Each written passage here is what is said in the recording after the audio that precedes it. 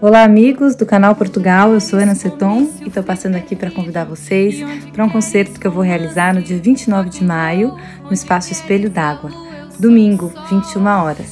Estou esperando vocês.